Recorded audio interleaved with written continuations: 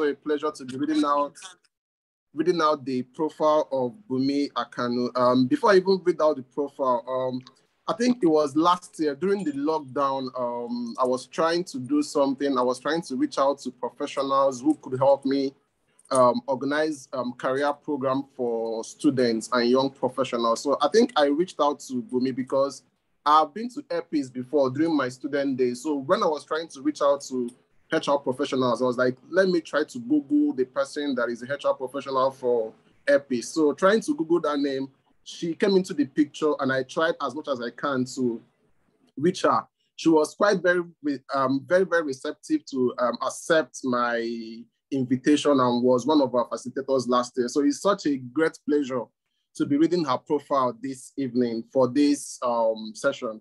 So I'll go. Bunmi Akano is credited with over 17 years experience, majorly within the aviation industry, to include ground operation management, customer service, office administration, and human resource management. She graduated from the University of Ibadan with a Bachelor of Science degree in microbiology after a brief stint at the Bridge Clinic as a trainee embryologist, she made a complete change in career path when she was selected as one of the pioneer employees for Virgin Nigeria, for Virgin Nigeria Airways as a customer service executive. At Virgin Nigeria, she moved through the ranks to become the lead customer service executive and later served as, as the office coordinator, where she was first exposed to handling transactional aspects of human resources at the MMA2 terminal. Bunmi's career in human resources took a major turn when she got the role at Greater Washington Limited as the human resources executive. She was eventually to lead the human resource and administrative team as its held as its head within three months of joining GWL. In 2013, she was opportune to join Airpeace Limited, which was at the time a startup airline with 11 employees and one aircraft. She is responsible for starting up the HR department at Airpeace Limited, which has now grown to become Nigeria's largest airline, flying into 20 destinations within and outside Nigeria. She led the human resources team as the head of human resources. In this role, she provided strategic leadership and HR solutions to an almost 2,000 strong employee organization, which includes local and expatriate talents she has, over the years, gained experience and expertise in most generalist HR functions. On the 1st of March 2021, Bunmi resumed with Flour Mills of Nigeria PLC as the talent service manager. Bunmi holds the Senior Professional of Human Resources International certification from the Human Resources Certification Institute, USA. She is also a member of the Society for Human Resource Management, USA, a leading Association devoted to human resource management and an associate of the Chartered Institute of Personnel Management of Nigeria, CIPM. She's an avid reader, a public speaker, and a promoter of continuous personal and professional development. Bunmi is a faculty member of Vantage Certifications and Adlam Consulting, where she teaches and prepares HR professionals for their certification examinations. She has been featured on 95 Chic as one of the top 100 career women in Nigeria and also nominated as one of the top 100 power women in Nigeria by the Power Woman Network under the corporate leadership category. She is passionate about human resources and seeks to drive organizational success by influencing its, its leaders to maintain a strong and positive culture and value-based environment where people will thrive.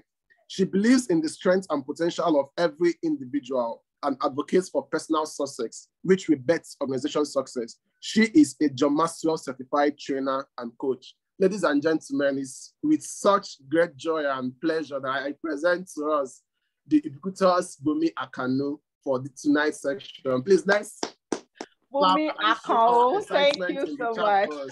thank you, thank you, thank you. So Bunmi Akano, over to you.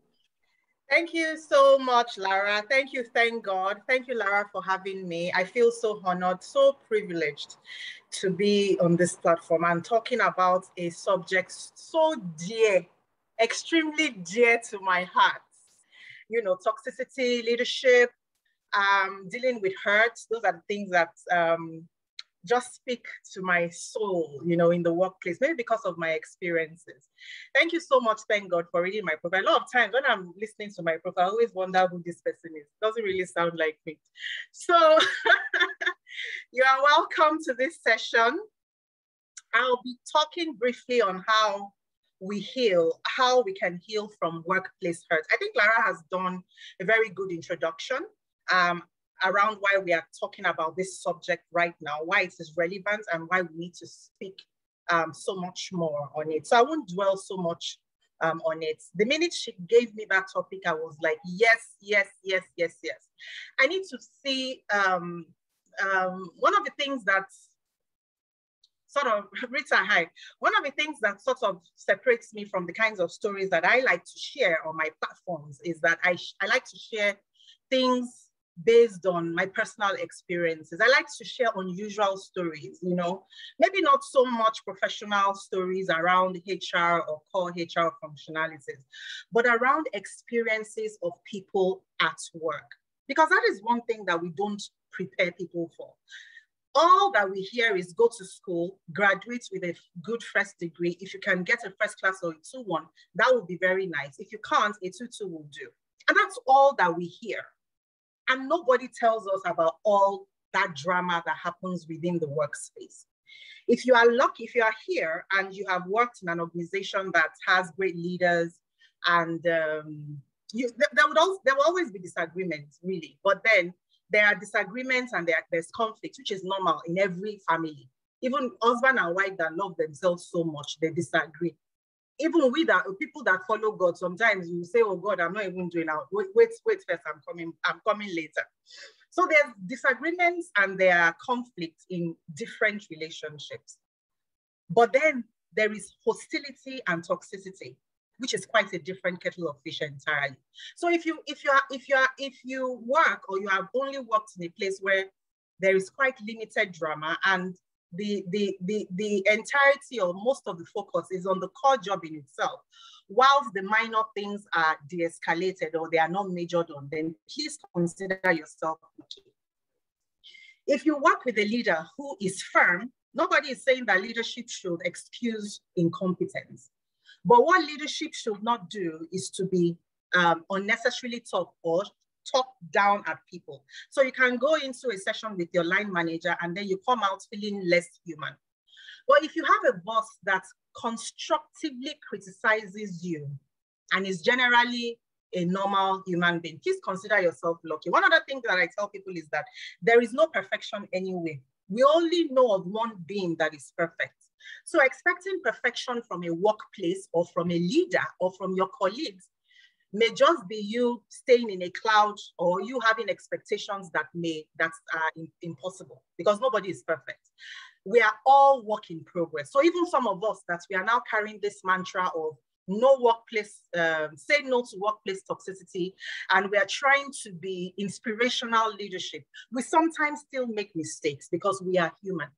And some days sometimes we have bad days and we may just come off wrong. So i'm saying this as sort of as my own intro because I find that there is so much um, discontent in the workplace. My LinkedIn, LinkedIn is a place where I see a lot of need, a lot of need, a lot of pain, a lot of gaps in people and their workplace experiences.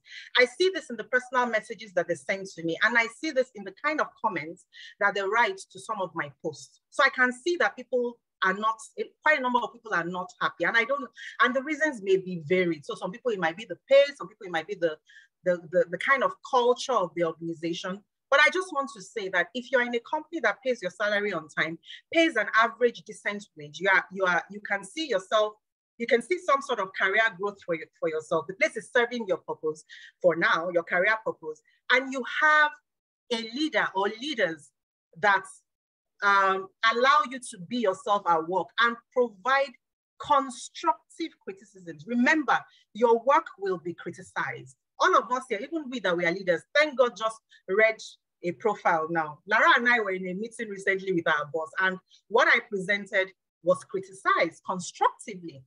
So you would always be criticized. Your, your work will be criticized, or someone will think, someone will tell you that, oh, you could have done this better. Now, the difference is how was that criticism done? So if you're working with a leader that constructively criticizes you and doesn't make you feel less than who you are and doesn't micromanage you and doesn't have all that drama, please, you have struck gold. You have struck gold. I'm not saying you should stay there and die there, but if there are other things that you may not like, understand that those things that your leader has are great qualities that will bring out only the best in you. So that will be my own intro. So let me, let's just delve in. Now, workplace issues can be caused by various things. Sometimes, and, and, the interesting thing about workplace hurt or, or pain in the workplace is that they are, they are usually centered around our work. So it's not as if I'm going to have a workplace issue with Lara, I'll be talking about, I'll be using some of my colleagues on this call as, as examples because I work with them. So I'm not going to have a workplace issue with Rita or with Lara or with Ufoma because of something personal. So we are not going to have issues about our, maybe the food I ate or about our children or something. We're going to have conflicts around our work. So the conflict most of the time, 80 to 90% or even more of the time, that conflict or that hurt arises from the actual thing that brought us all together, which is our work. So it's either you did something and you didn't, it's either you didn't do the work, you, did, you didn't do your work well, or you did it, or you didn't do it timely, or someone thought that you could have done it better, or someone just has some sort of disagreement around something about your work. Which is why they say feedback is a gift. Uh, because as much as you think that you are sliced bread or you think that you are you've done very very great job somebody may, may still have something else may still have another opinion or may have a better way that you could do do it. So you must always keep your mind open. So workplace hurt arises most of the time around our jobs around things around our jobs how we deliver the project how we did well on that project or, or we didn't do well. So it would most times not be on personal issues, which is what even maybe makes it even worse. Because a lot of us get a lot, a, lot of a lot of us get um, a huge sense of well, uh, what's this word now? A sense of um, well, I've forgotten this word I want to use. A sense of purpose, a sense of meaning, yes, a sense of meaning from the work that we do. So when someone comes or there are issues around your work or so, you sort of sort of take it personal. So it becomes personal. And if those interactions are not well managed, it now de-escalates. Another thing that could cause this uh, uh, could be unfriendly colleagues. So sometimes you go into a new workplace and then you know, when you get there, maybe they have formed like a, a clique of some sort, or, you know, they've been there longer than you are. And somebody has not done, somebody in HR hasn't done a very good job of onboarding you properly into your new role. And then you're just tossed somewhere in the middle of people that have been working with each other for years, and you're sort of struggling to find your feet, which is why there's a lot of attention now being paid to onboarding, because it is a new, it, it is a big deal to come into a new organization you are, you, I mean, you don't know these people, you don't know a lot of the people, you don't know, I mean, you're just trying to find your feet. And imagine that you find yourself smack in the middle of unfriendly people that are sizing you up. It now just becomes, uh, it, it, it may become a problem. Now, conflicts or hurts arise in the workplace in two ways. It's either it is intentional or not or unintended. And I think I put that on my post. So sometimes it could be outrightly intended, like somebody just comes all out on you, or sometimes it could just be a disagreement. Something went wrong and then it wasn't well handled between the both between both parties. So I'll just briefly speak on this, then I'll talk briefly on my own personal experience, and then I'll share some tips on what you can do to heal uh, from workplace hurts. And the and the hurts can be varied. So sometimes it is really, really deep like in my own case, the kind of things that I went through were they, they were quite they were they were they, they weren't really small issues, you know, they were big issues, and then they went on for quite a, a long time before some quiet now came in. So I'll just share a bit of my background, a bit of, a bit of my story, some of the things that I did, and some of the things that I think you can do, you know, to heal. Uh, so, so there are different kinds of organizations. Thankfully, I work in an organization that is not hostile, but that's not the case for a lot of people. I work in an organization that is also not punitive, you know, and something happened some weeks ago and I was just so impressed how it was handled. But then that's not the story for a lot of people in the workplace right now. A lot of workspaces are very hostile. There was a case that went around recently about in a bank and with some very senior colleagues. The man eventually resigned because of how he was treated. And that is even a high level case. We're not even talking about the junior officers and, and you know, different cadre of employees in the workplace and the kind of experiences that they have. So some of us find ourselves in very hostile environments, in dysfunctional systems with bad leaders or with leaders who do not know any better. Let me not just castigate them as being bad. I think that's wrong. So I scratch that out because they are good in that they are driving the profitability of the business. And that's a good thing. You are working for a progressive organization that is growing and is, and is recording profits. They're not recording loss. If you're working in an organization that is recording loss, you won't even be paid your salary. So the leader himself is strategic in that is growing that company and it's and between the leader and the top people and everyone else, they are driving the company forward. But then they don't know any better on how to drive results positively using their leaders. They use fear, they use intimidation, terrible words, insults. They just speak to people anyhow. One of the things that I learned, and I was, I'm going to feature this soon on my on my on one on, on my social media platforms, is that leadership, that you are a leader doesn't make you any better than any than the people that you serve. So I have a team of 12, for example. I am not in any way better than the 12 of them, including even the lowest person there who is um, um, like an errand person. I'm not better.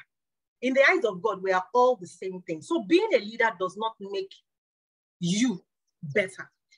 The only thing is that you have a larger portfolio. So you have a higher level of responsibility. So you're going to be held more accountable than the others for the vision of the people that you lead. Shikena, that is the difference. That is the difference. It is not that you are better than them. And it's the reason why you are being paid more because your accountability is higher. You may, you may not even really, really be necessarily more intelligent than them. Maybe you have spent longer in the workplace and then you have a bit more experience around people management. So someone might be on that on that team that you manage who may have more IQ than you, that you are the leader, meaning that the person is more intelligent than you. Mean that if the two of you, you write a quantitative test, all this uh, reasoning sort of test that they do for us, that person you lead will beat you. You know, the person is the person may be more intelligent than you in other areas, but you have just been given that responsibility to lead the team. And that is something that should not be taken lightly. Leadership should not be taken lightly by anyone because it is an opportunity to deliver on the mandate that has been given to you and then to serve the people that you lead. That is all. You are not better. So sometimes you may have a bad leader, dysfunctional colleagues, and a dysfunctional system. You'll find yourself in a very, very hostile environment. How do you know how do you know hostile environment? How, how would you even know a hostile environment in the first place? I always pray, may not be anybody's portion to find themselves in a hostile workplace. It is like being unhappily married. It is like being unhappily married. It's like marrying someone and every day is a nightmare. That's the same way it is working in a hostile environment, which means that every day you are going to work, you are not happy, you are afraid. So it is actually a prayer point to not find yourself there. And most times I counsel people when you get a new job, if you can, find out about the organization that you are going to work for. If you can, you may not be able to because these things are subtle cues. They are not written anywhere. So you're not going to see it on, you, you may, you, you won't see it anywhere. You have to do some sort of uh, covert investigation to find out about how an organization is before you join. So if you can, find out how do you know a toxic environment? A micromanaging boss, for example, is an, is an example of one that may, may be toxic, especially if he's micromanaging all the time. So leaders sometimes take on situational, so leaders engage in situational leadership in the way that they manage their team. So sometimes they may micromanage, but a leader ideally should not micromanage all the time. I remember when I got into my current job and I and I didn't hear from my boss for like three, four weeks. I was slightly worried. Yeah, I was worried. What was going on? Why why hasn't why why why hasn't apart from my first meeting of my objectives, I didn't hear from my boss for about four weeks. And I, and you know, I was I, because I, I wasn't used to that style, really. I wasn't used to that style prior to that. So if you have a boss that typically micromanages a bit too much, it may it may be um, a toxic environment. If you get to an environment or you hear about an environment where the competition is hyper, a hyper com competition, a hyper competitive nature is also a red flag. A hyper competitive nature is one that strives to show itself better than the other person. So I want to show that I, I know more than Lara. So I will make sure that, you know, I just show it. There is nothing wrong in healthy competition, by the way, competition, by the way, because I can see something that uh, Rita Ufoma did, and they did it brilliantly well. And I want to find out, how did they do this thing? And then I call them because I want to learn. So I want to be better than who I was before. And that's the only competition that I engage in really. The competition that beats Bunmi's previous deliverable, the competition that beats Bunmi's previous, you know, um, quality of work, not the one that wants to beat Rita and wants to beat Ufoma by all means. So when you get to an organization whereby everybody is trying to be the favorite, everybody wants to be the the, the top, everybody, and then they are they, they are they, they engage in different ways and uh, negative ways to get that done, then that's a red flag. When you get to an organization whereby information is only being passed from the top, so it's only the person at the top that knows everything, then that may also be a problem where people can't challenge leadership or even ask them or you know question one or two things that, that may do. If information is always being hidden and you know you don't have access to information that you need often, that may also be a sign. I just want to share this, this little things. Rude and caustic emails might also be a red flag. So if you go into a place and then you see people so people can disagree with themselves via an email. And so sometimes you might find yourself in copy of an email whereby um, so pe two people are having a disagreement and the mail is going back and forth, back and forth, back and forth. If they're not using rude, disparaging remarks on themselves, then that may be fine. But I mean, they, they might have just decided, they might decide to handle that better. But when you start seeing you know, some side, some sort of words that ideally should not be documented, then that might be an issue. So when you see funny emails like that, please be on alert. If you have, if you work in a, an, on, in an organization or you find out that an organization has a blame culture, that might also be an issue. So be, why am I saying blame culture? There are no perfections. As Elia said this, we will have we, we will make mistakes. I always say something to my team members. Mistakes are meant for human beings. They did not make mistake for anybody apart from human beings. So human beings will make mistakes. But when we start to blame ourselves, start, start to push the blames, that might also be a problem. Also seeing temper tantrums, physical aggressiveness, negative gossip. We once talked about gossip in HR GEMs group. Now you can't stop gossip oh, because once you gather people together, there'll always be gist, there'll always something to talk about. But then negative gossip is the type that speaks negatively all the time about other people. And that is wrong. So when if you have a particular colleague that always has something negative to say, then that might be an issue. So all these things put together, in addition to others, make for a toxic work environment. And let me also sound this. Sometimes an organization may not be toxic. I've heard of someone that works for an organization that by all means, when you hear the name of this organization, you will not tie toxicity to it. But unfortunately, the person works in a team where their line manager is sort of aggressive.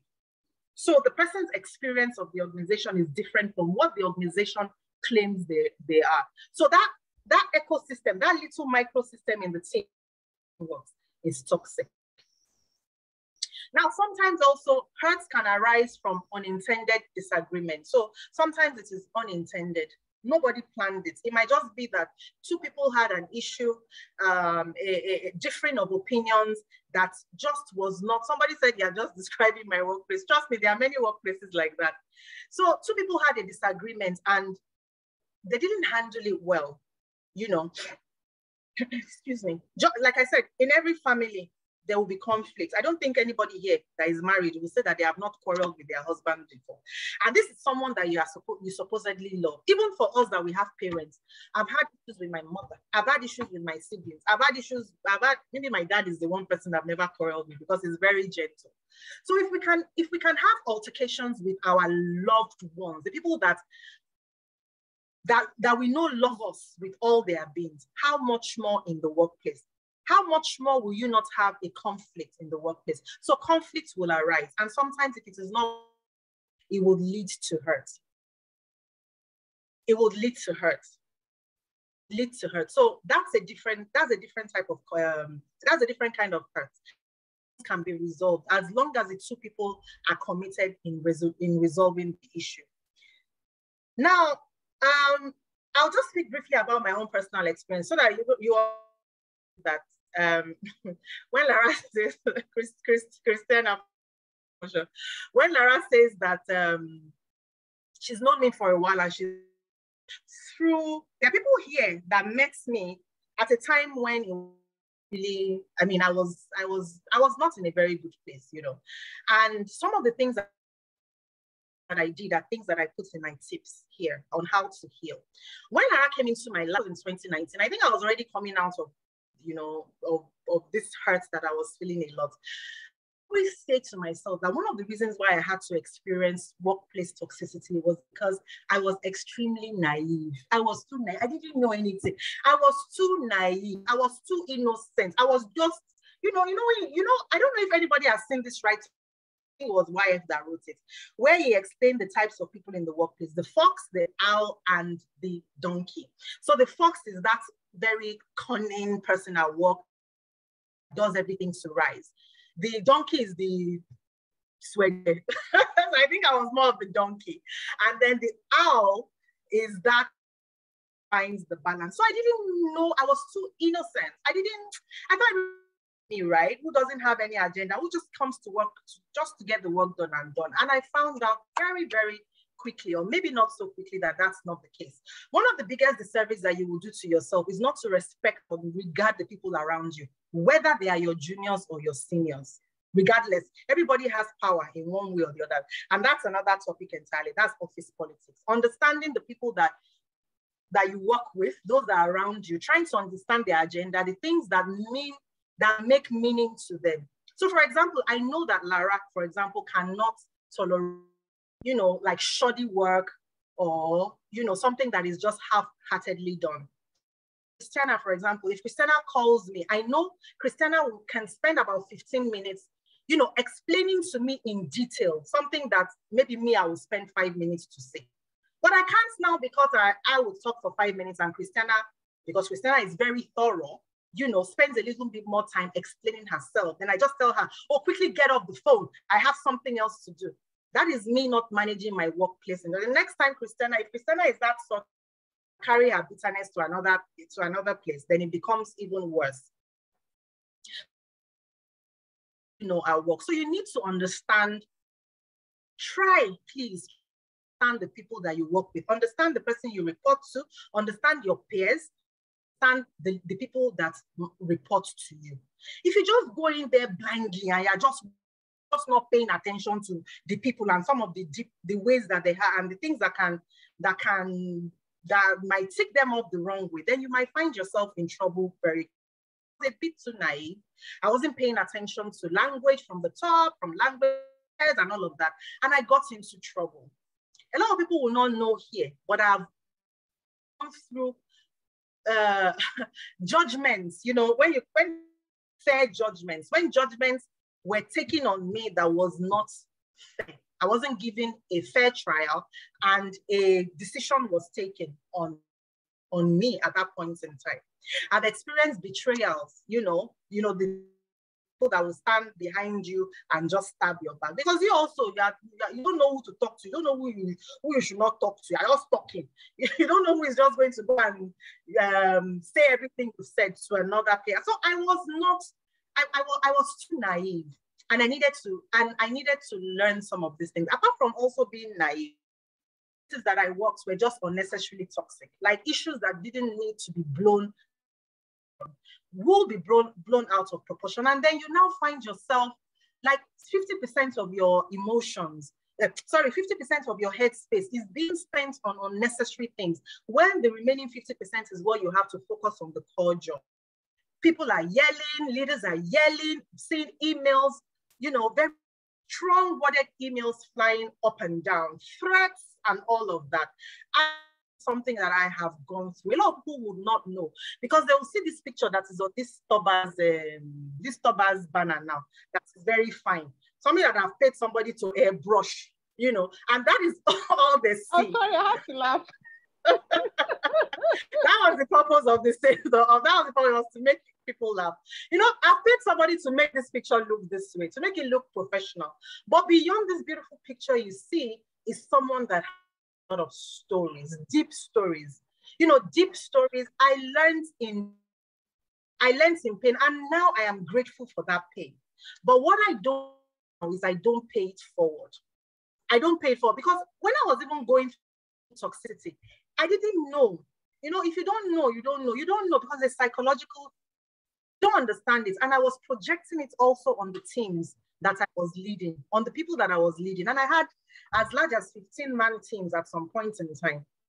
And just as I was being yelled at, I would yell back at them too. Just like I was being, as I received some, some, some, some mails I didn't like, I would send those kind of mails back because I didn't know any better. I wasn't prepared. I eventually had to heal. I had to look within myself to start that place of healing. I, I even had to identify first. I had, I had to first of all come to with the fact that, oh, this is pain. Because, you know, we, we, we, we, we were, we were not only men that were trained to be very tough. Oh. In this Nigeria now, the way that our parents were to be tough. So being trained, and I, I, was the first born and all of that. So I was always trained to charge. So I didn't even acknowledge that pain for the longest time because I just went on and just continued to go on and just so I had to acknowledge the pain and then start a process of healing from it. And now I'm grateful that I went through it, although, although maybe I didn't have to to go through it for such a long time. Changed Me, uh, you know, I sort of learned in pain. And so a lot of times now I'm in, the, in uh, a lot of times I, I, I, I seem to be very, uh, what's the word now? Slightly unassuming. And it's because of the way, it's because of the kind of things that I, the way that, um, the way that I processed my pain to better in it. So I'll just go through some things that um, you um, to help you heal from workplace hurt or workplace trauma, or as the case may be. I've explained the kind of hurts that you can experience at work. They can be intended, they can be unintended, you know. But whichever one it is, matter is that your, your, your, your emotions have been bruised. So the very first thing is that you have to come to terms with those feelings. Accept that this has happened. Don't brush it away. Because if you brush it away, somebody wrote something in the HR Gems group and said that workplace toxicity can lead to even broken homes. And that's the truth. Because a lot of us, a lot of people take all that pain from the work, from their jobs, and then take it home and then download children. Those of us that have children, how many of us can really claim that we don't take out our frustrations on our children, except maybe we have now grown within our parenting skills. I used probably still do one once in a while because we are all still a work in progress. So imagine that you are you work in a very hostile place. This means that every time you get home, you will just download and offload hands for that on your innocent children. It's very easy for us to download on our children because they are innocent and they cannot hurt us back. They don't have the power to hurt us back. This is how many children can talk back at their parents here even though yes, so we are now we, we probably we, are, we probably are not raising our children like the way we were raised, but it's highly unlikely that there's a there's someone here that has a child that is the mom or the dad. No, there's that high level of respect. So we go back home, do these things, and then there's a there's a you know there's a, there's there's this ripple effect, just not only in the workplace because you are being toxic to other people at work, receiving toxicity, but you're also dishing out that toxicity in your home. And then thereby we are just creating this long line of bruised individuals that now grow up to become dysfunctional. So it is, it, it, it, it is, it is a canker worm and we need to stop it. We need to identify it. We need to identify it within ourselves. We need to identify it in people and see how we can help them, especially those of us that are HR professionals and we need to just find a way to stop this. Unfortunately, in Nigeria, because the legal system is not as strong as it is in, in countries, then a lot of a lot of these things go on unchecked. So the first thing is to come to terms with those feelings that indeed um, this has happened. I've been hurt. This person has hurt me. Oh, Lara said something I didn't like. Christiana said I didn't like. I don't like what she did. Did she say it on purpose or not? Then I start to think around it and sort of how to resolve. Resolution is important. Just like in a husband marriage or in any other relationship at all, if you have an altercation with an unreasonable person, try when all the tempers have been has gone down, try to see how you can resolve. Very, very important. Try to so that there are no, so that it doesn't degenerate further. So come to terms with those feelings. Embrace those feelings. Acknowledge it that this thing that my boss me is not good. Don't say, eh, because he's the leader, he can talk to me anyhow. No, nobody is allowed to talk to anybody anyhow. It is not allowed. It is, it is not allowed. Nobody is allowed to talk to a human being in a way that makes them feel less than human. It is not allowed. So acknowledge it. Acknowledge it that, oh, what this person did to me was not proper. This person should not have thrown a shoe at me. This person should not have thrown their mobile phones at me not have done any of these things because these things happen. So acknowledge it. Number two, apart from some extreme reactions, understand that in the workplace, nothing is personal. Remember that I had said earlier that a lot of these conflicts arise from our jobs. So Bunmi sent a report and Lara is like, ah, Bunmi, did you before sending? And then me, I just take offense. Ah, what's wrong with her? Why is she always like this? but forgetting that it is about the work that I sent. That eventually, if I share this thing to the world, that thing that she has picked out might um, it's, it's going to be an issue for a larger audience. So maybe she's trying to help me. So understand that in the workplace, nothing is personal. Remember, I said earlier, people are trying to serve their agenda. Everyone to grow in the various ways that they know how to grow yes, some people are doing it negatively, other people are not doing it negatively. They're just doing what they know how to do. So it's not personal. When your boss corrects you or when your boss says something that maybe you don't like, think about the core of the issue. This thing arose because of something that I didn't do well. Yes, maybe my boss or, or this my colleague did not say it in the way that I don't like really, really not personal. We didn't come to work. It's because of the position that you are that you occupy in that seat. Like I said, except for some few cases or some few cases can be personal, but some other cases, a lot of other cases, they are not personal. So if I was not talent services manager for flour mills, for you know, I may not have some conflicts that I would have with some of my colleagues or other people there. So it's not personal, it's about the role, talent services manager. is not Bunmi Akano. So you have to remove, you have to learn um, in order to heal well, to remove a lot of personal judgments in the way that you interpret some of these. Number two, or sorry, number three, to find some, you have to find purpose in, uh, in your work beyond some of the things that, some of those external things that we come to work to do. So there's a deeper meaning, and this is a bigger conversation. There's a deeper meaning, there's a deeper reason in what you do. So I'm not just in flour mills as a talent services manager. That's just what is my own purpose. So for example, I know that practicing HR now is a calling. I know, I know that it is a calling. It is like a ministry. It's something that was handed over to me to do. I may not know the entire the reasons why, but I know that beyond the fact that, oh, this is my job there is a deeper calling in my work.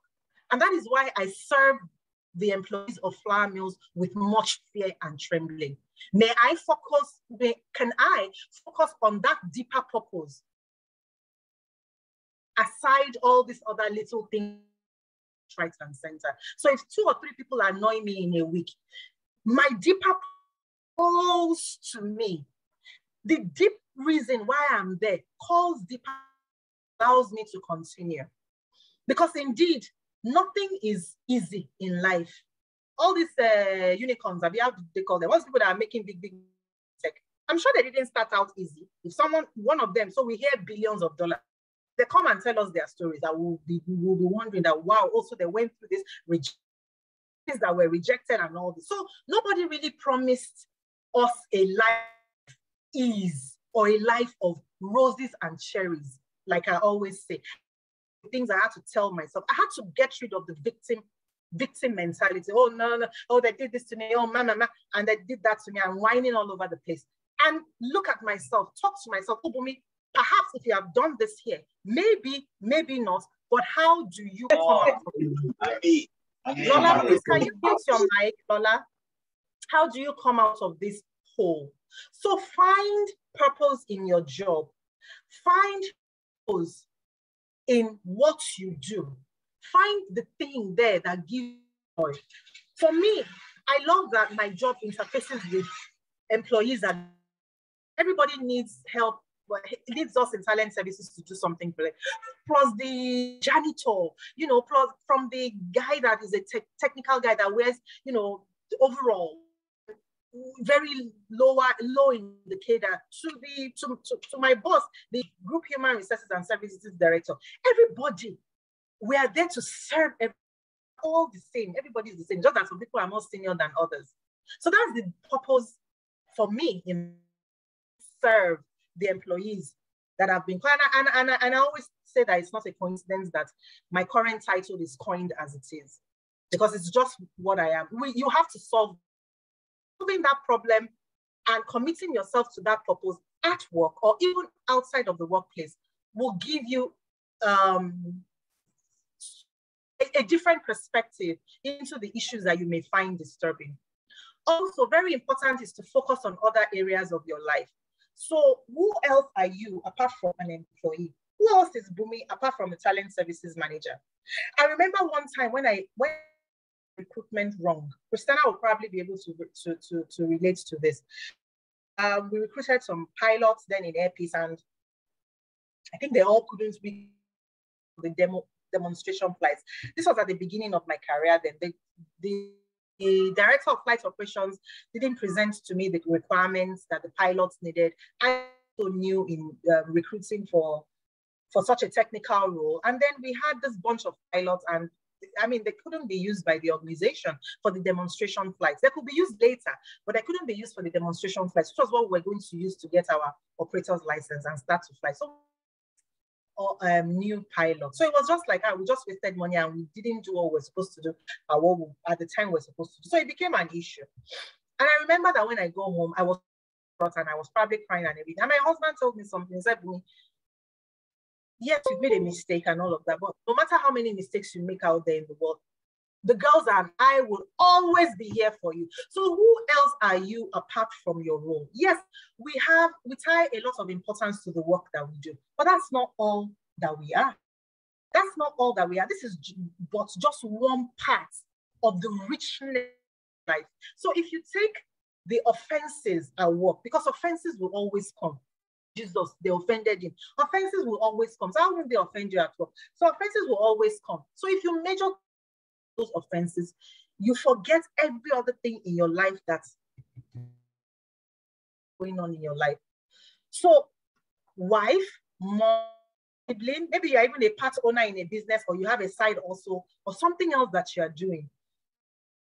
Also, the, the, the level of importance that you give to your work, give those other parts of you that same importance as well. Don't all about the experiences all at work, so much so that they become like make something happens at work, you are totally shattered.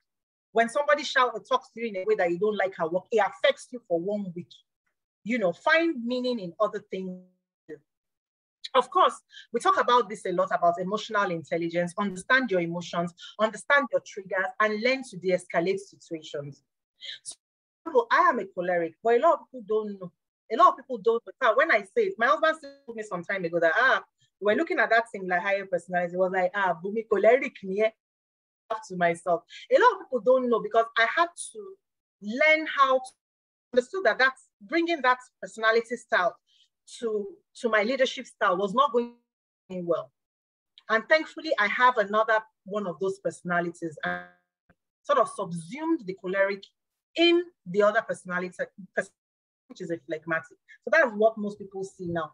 Because I can't be coming all the time to the workplace and just demanding, demanding, do this, do this, do that. And then I'm just talking to people anyhow. And that's the choleric would, would use all manners to achieve their objectives and they don't care about the trail of that they leave in their wake as long as the job gets done. So I had to who I was, are my emotions, my triggers that makes me angry and sort of be aware. So when somebody is talking to me in a way that I don't, instead of me just getting angry immediately and react, I, I would tell, I would feel that emotion that, ah, Bunmi, you are getting angry. This is actually the time for you to keep quiet. Bunmi, you are getting irritated. This is actually the time for you not to say anything. Or if you want to say anything at all, say it in a way that is palatable. Very HR professionals and leaders. Emotional intelligence is a no-brainer. You can't go anywhere if you don't have it. So understand your emotions, understand your triggers, escalate situations. Also understand the other person's annoyance as well. So if you do a presentation and it's not well done, maybe you didn't cross your eyes and dot the T's, and the other person, maybe your boss is, up. you need to understand the reason for them being upset. As long as they didn't you anyhow. But if they called you out to say, oh, Bunmi, this is poor shoddy work, it's shoddy work. Why would you take offense? Because it, it is really what it is, poor shoddy work.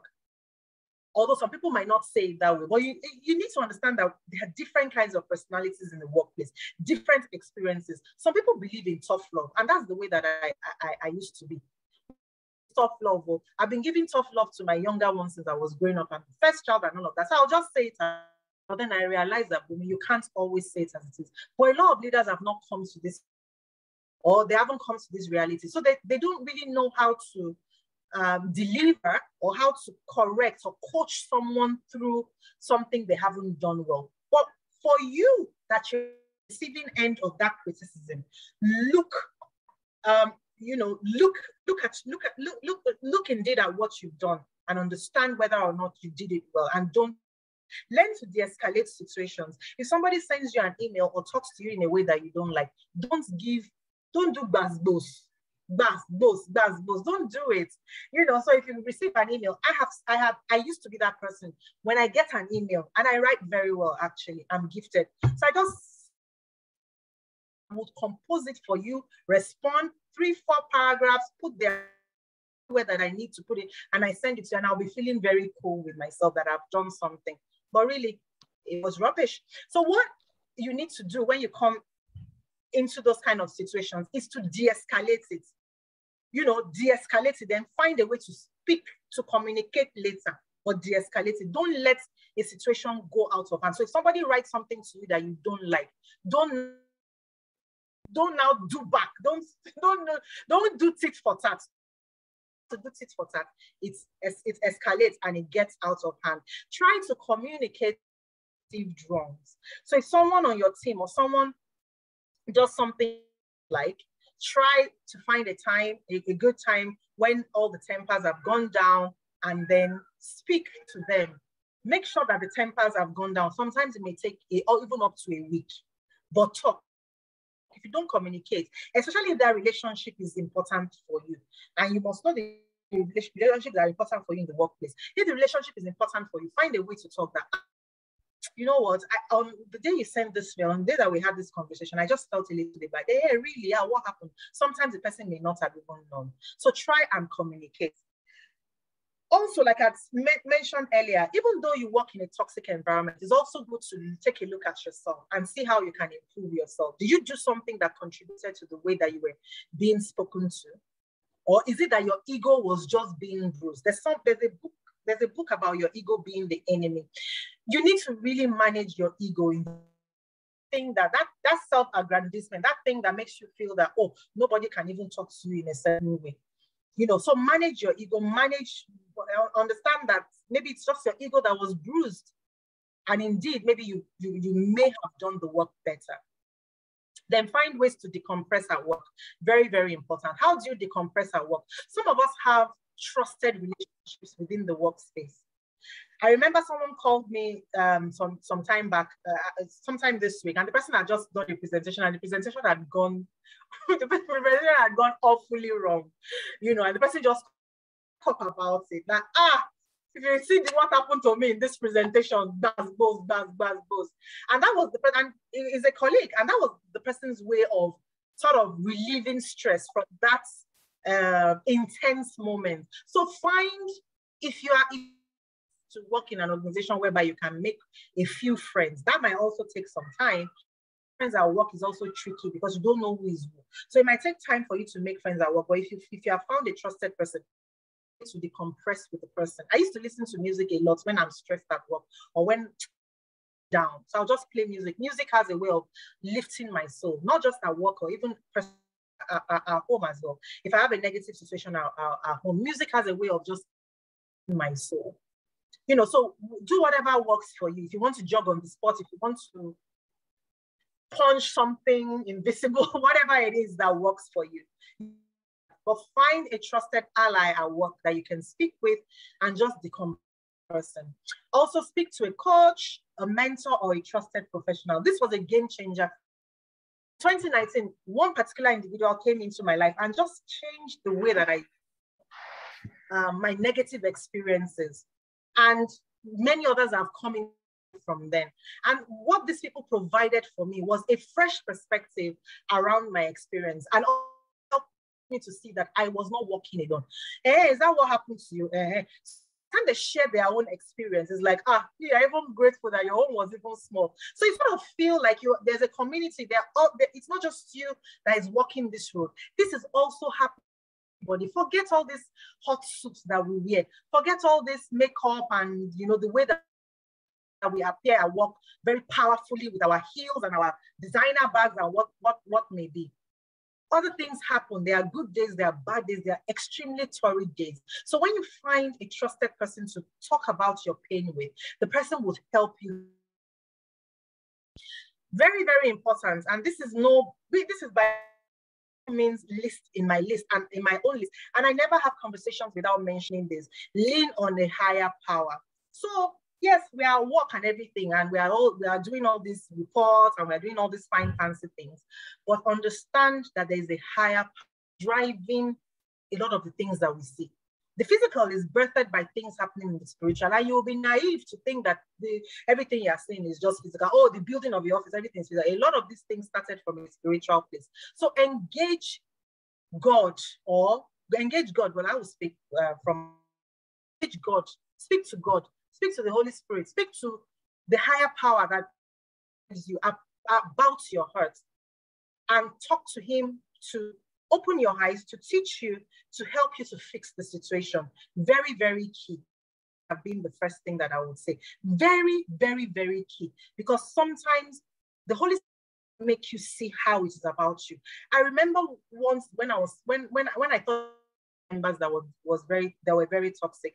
I was working in a place whereby the the the MD liked gossip. So some of my team members were gossiping and all of that. And I was just praying one day and I was them. So you know this mountain of fire prayers now, that booklet, command the money. So I really throwing all those bullets. And very clearly I heard anywhere with your team members if you don't love them.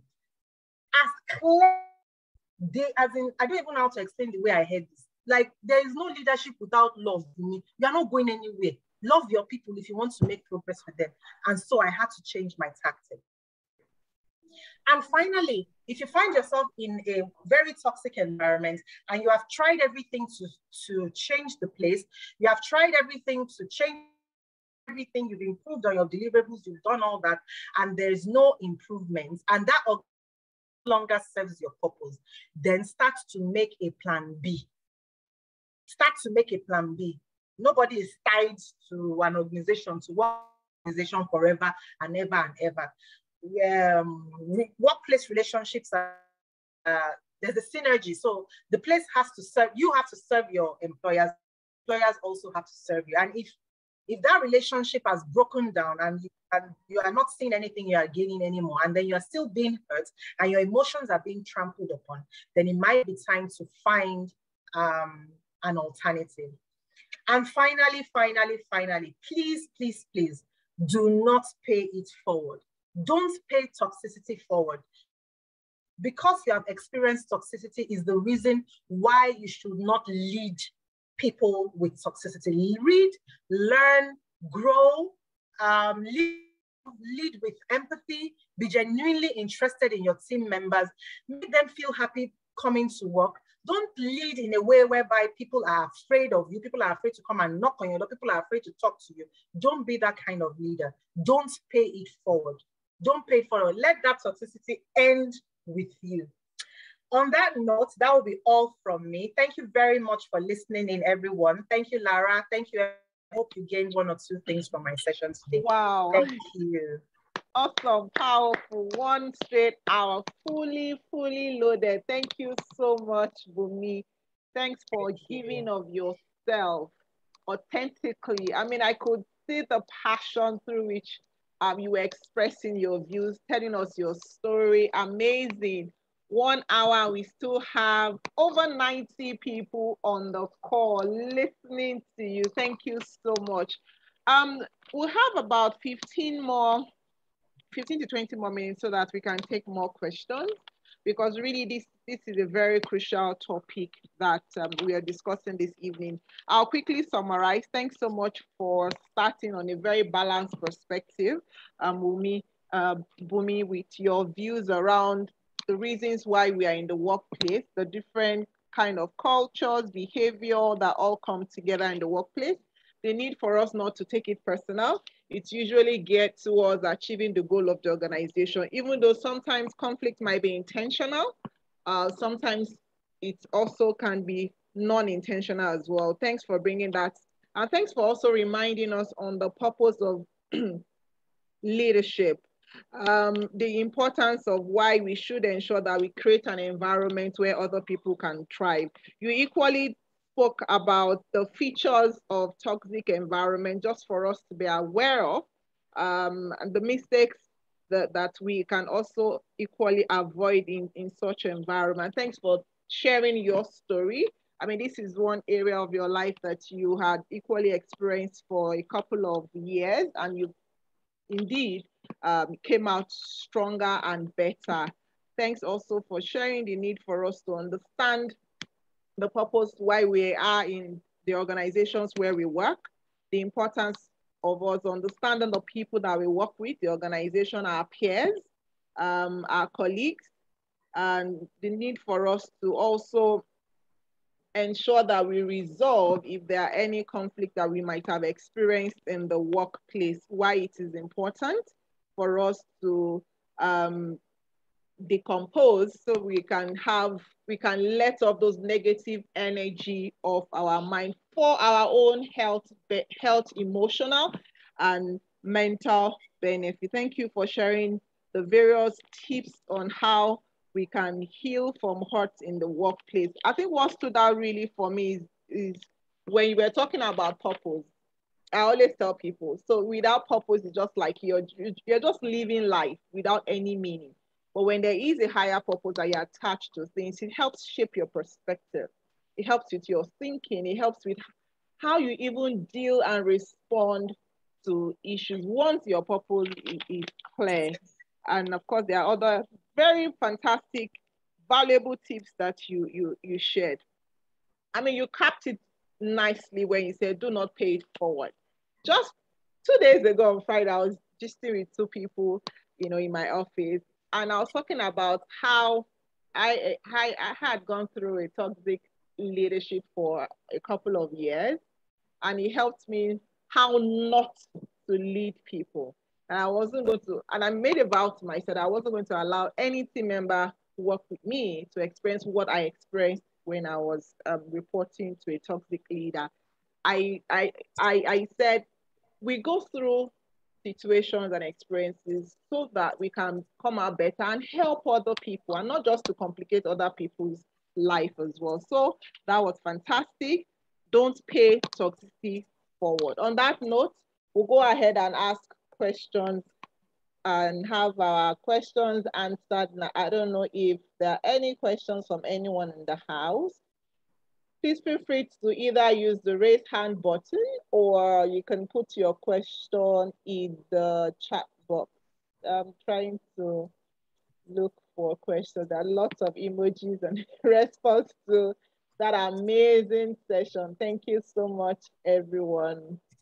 Thank you. I have I have a direct question here.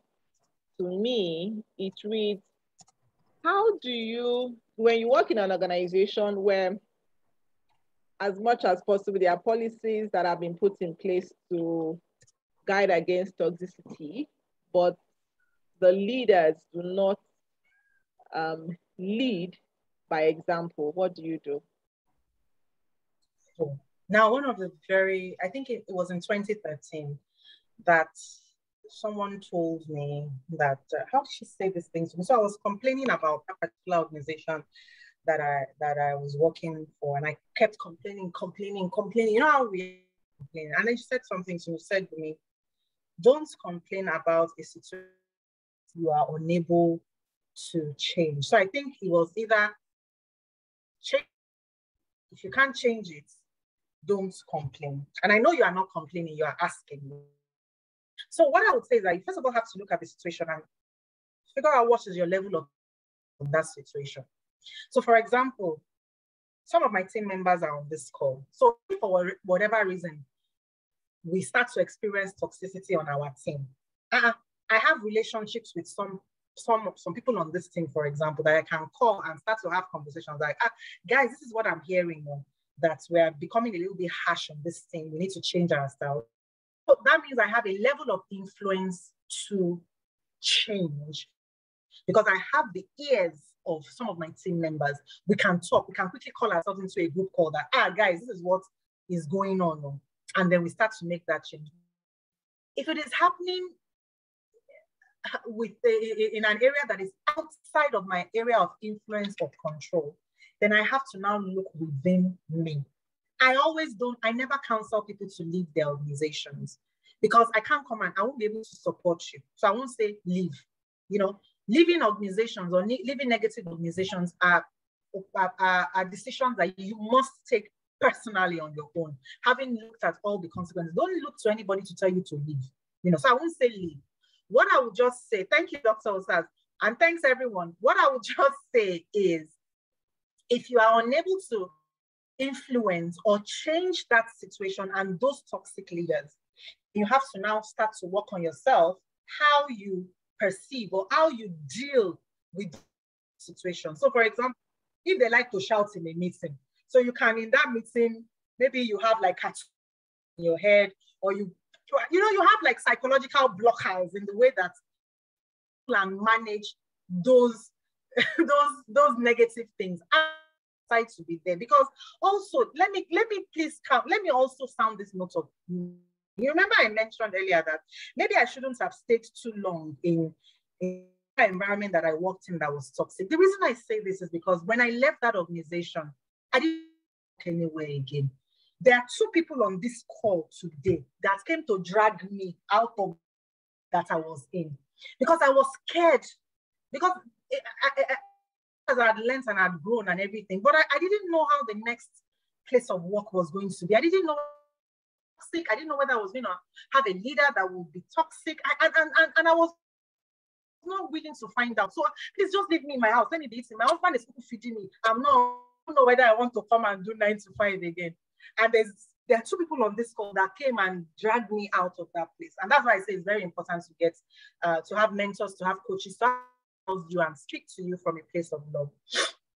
So if you can't change, so I, I that is that it's not always good for us to stay for too long in a toxic environment because you don't even know how deep it can affect you. But whilst you still stay, find a way to cope. Whilst you still stay, find a way to cope. Find your coping mechanisms. Because if you can't change, you may not be able from, from you may not be able to change those leadership. You can report to HR. HR can HR can do. But if you are not able to make, if you are not able to influence the, you must then now work on how you perceive or how you deal with that uh, pain or that toxicity. Thank okay. you. Thank you. We also have other coaches on the call this evening. Please, let's be free to contribute as well. We have Dr. Saj, we have Coach Stefre, we have Coach Dorothy, Coach Taiwa Baton. We, we have very seasoned certified coaches on, on the call as well. Yes, so thank you. We, I have a another question here. It reads, what do you do with a boss who is selfish, not wanting to give opportunity for growth and having advantage with the other subordinates? Okay, I don't understand the advantage um, question. Uh, advantage comment. Like I'm trying to understand what the person means. So Is I it think, advantage? Yeah. Well, I think what this person is trying to say is this person feels um, seg segregated at work, and he or she is not given opportunity to learn um, as compared to other subordinates at work. Okay sometimes this happens, favoritism at work with your line manager and you know, different things just happen. So the line manager is not giving you opportunities to grow. For me personally, so people have different reasons at work. Some people just pay my cash and go. Me, one of my biggest number one list of reasons why I take jobs is what is the potential for me to grow on it. So you have to find out because I mean, I, I don't know how you're going to be able to have a conversation with this kind of individual, telling him how you feel. If he's that kind of a person, he, has some soft moments because nobody is also completely a demon, right?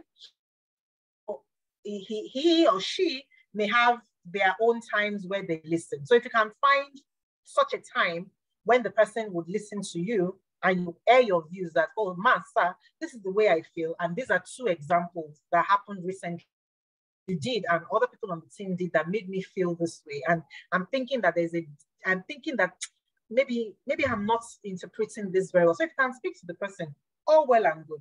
If you're not able to speak to the person, please, you need to figure out what is important for you in remaining. So if one of the one of the reasons why I leave organizations is once I my learning in that organization, once I've maxed out my learning and I'm not seeing anything else that I'm or I'm going, or anything that is challenging me. Once I can do that job with my eyes closed. Ah. So if it is key for you and you are not learning, not learning on a job is a because that's why we are there. We are there to learn and grow and then earn and, and support our lifestyle. Like I said, option D is very, very, option B is the valid point. So nobody is tied to any organization. If a place doesn't serve you, by all means, look out. We have so many organizations out there, and there are lots of. Thank you. Let me not talk too much. I even tell people now that opportunity our opportunity now is global. It's no longer local. Indeed, indeed, indeed, indeed. Okay, we have another question here. It reads, what do you do when your coping mechanism is not working anymore? Your coping mechanism is not working anymore. If your coping is not working anymore and you you you you have seen the next thing you do is to see um, a coach speak to a coach or a mentor someone higher up than you someone that has more experience than you that can help you look at that. I mean lara still shared a mentor told her on linkedin page. I saw it today. I mean, if Lara at this level of her life is still having people that are speaking to her, she said her mentor told her, don't major on the minor and minor you know, so very important that you get a coach that would speak. So if yeah. your coping mechanisms are no longer working, then you are getting to it means you are getting to a dangerous place in your in your in your psyche. So speak to a coach. Yes, and we and we, we have several coaches on this call. Bunmi, can you still hear me? I think Bunmi is frozen. And we also have several coaches on this call. Exactly. You know, we have several coaches on this call. I read it doesn't serve anyone great good to remain in a toxic environment for too long. It will affect you eventually. So speak to a coach and start the options.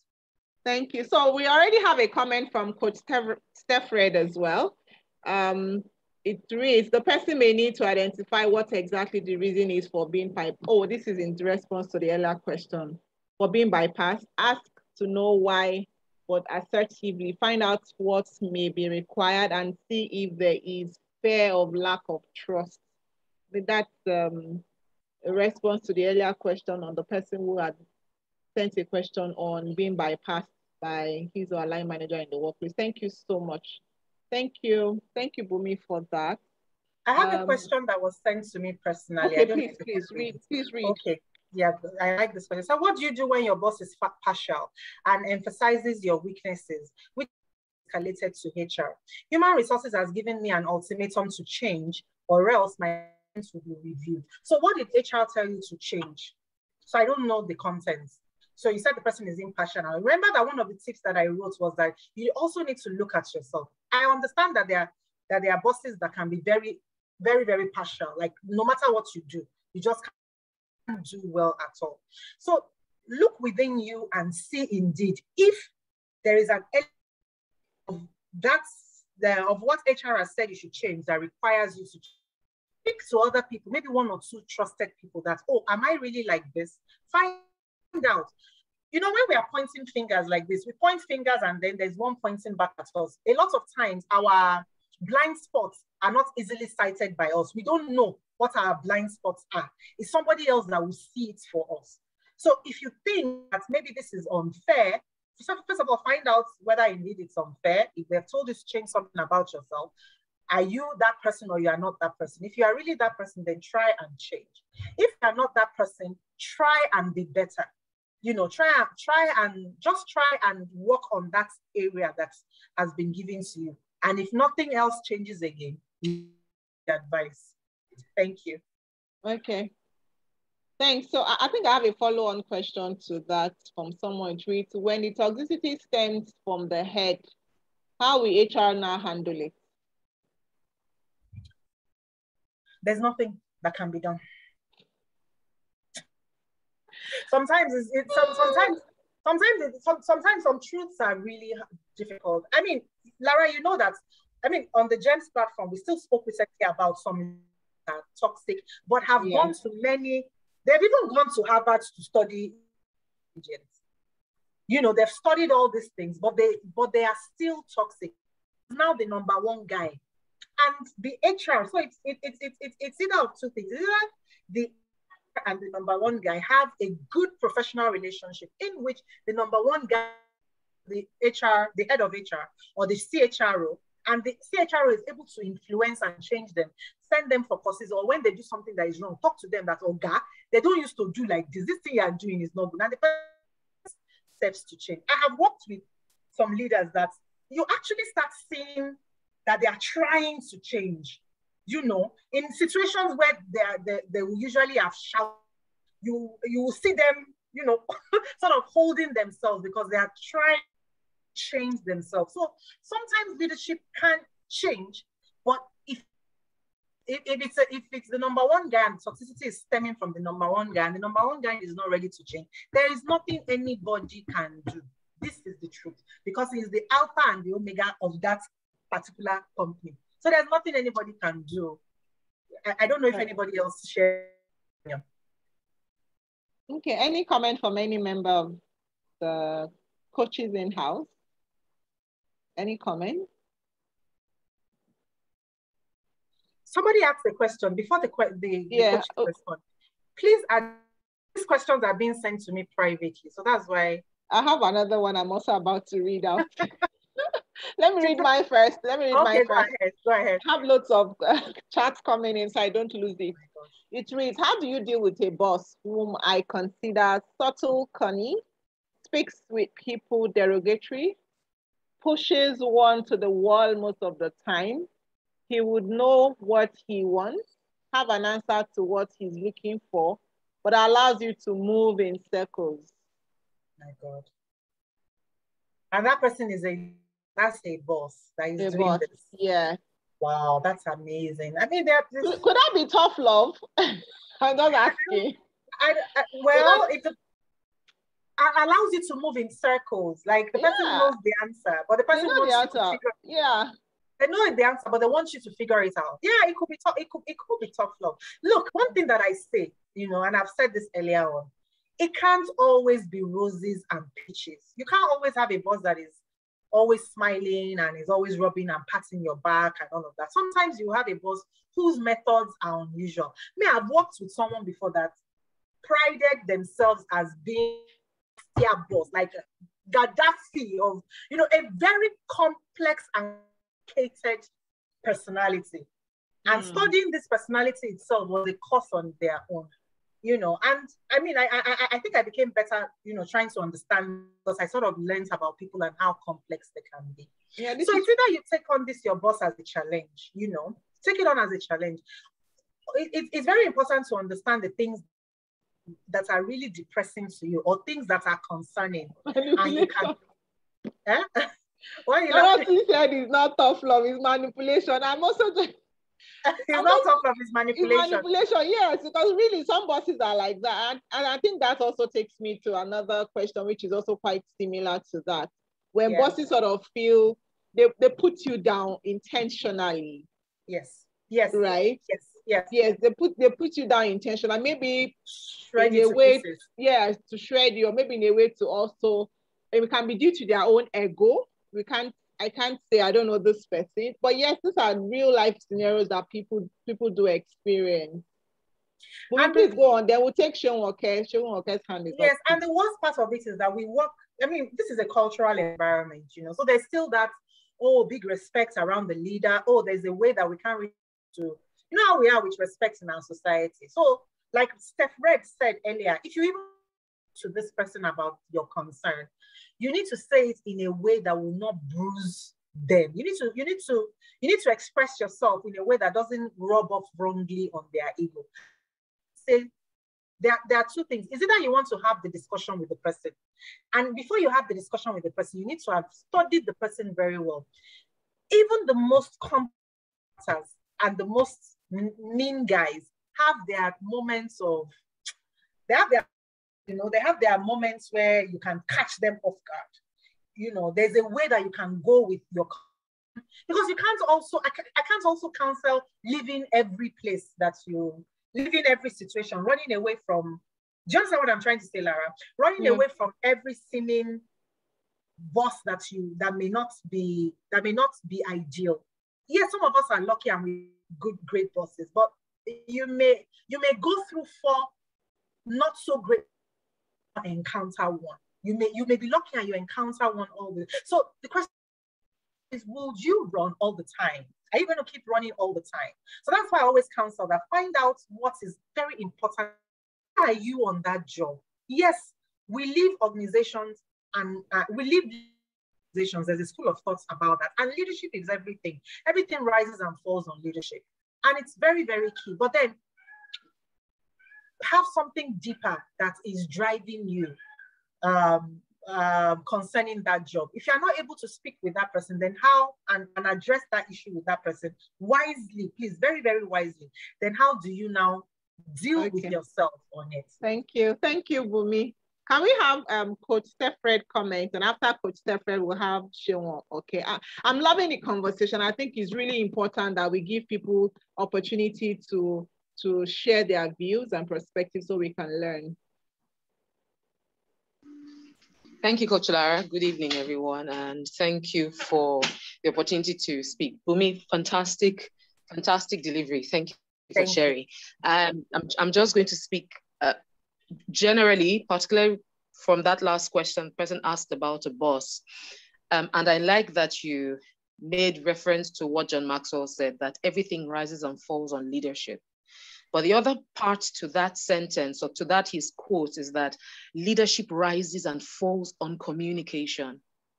And what is happening every time in places of work is a conflict of how each person is showing or choosing to show up of which how they are communicating. One person feels attacked, one person feels afraid, the person that everybody is always at that point of trying to self-preserve when we speak. Mm-hmm. And I'm, I'm going to use the example. I've been watching a series quite recently about the good doctor.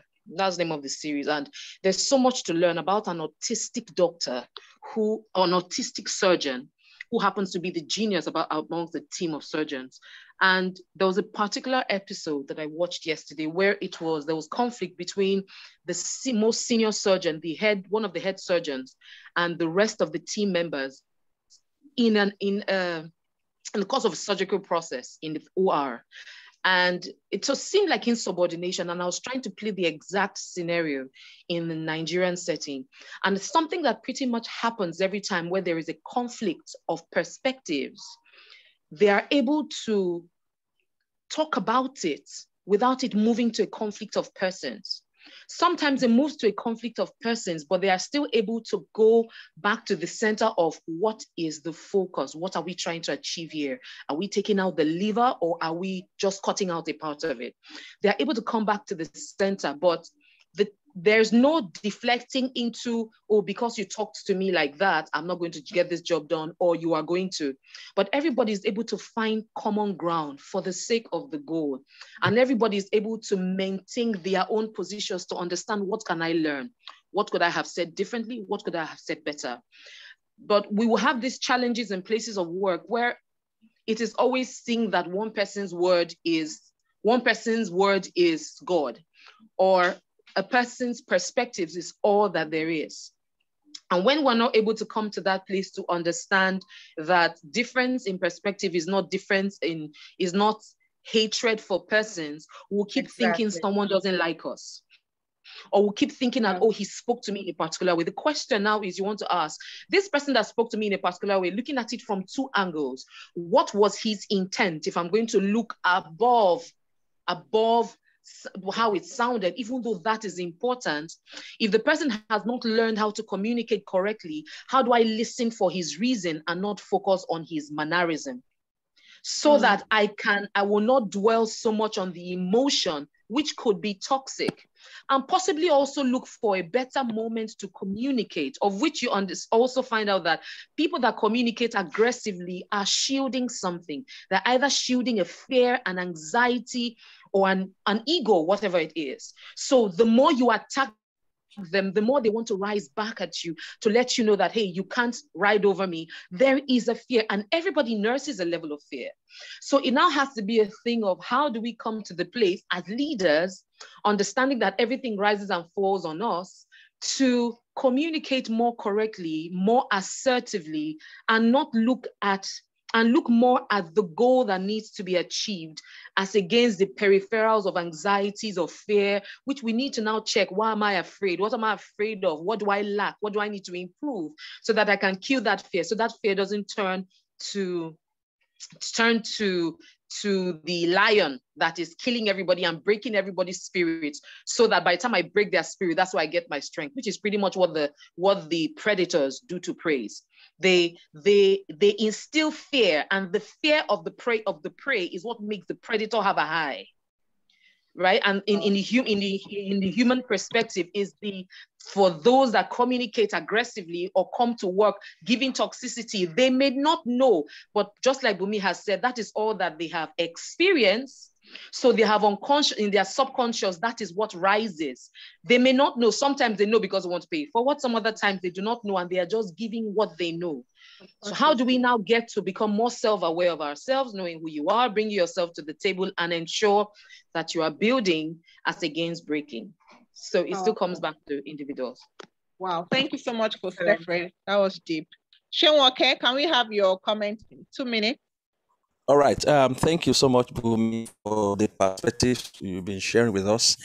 Um, my own angle of looking at this is when Bunmi talked about um, that if the uh, toxicity of the toxic, uh, I mean, uh, behavior is coming from the the boss, uh, that there is added nothing that anyone can do about it is where I I think I really have an issue with because I really want to believe that um in as much as the person is not the owner of the business or the you know the the, the the the owner of the business he is also an employee he or she is also an employee even though you are the boss that is where hr comes in you know to be able to you know, um, ensure that uh, the relationship between the boss and the uh, subordinates is not a toxic one. I mean, there is no intimidation, there is no, um, um, you know, winch hunting and all kinds of things that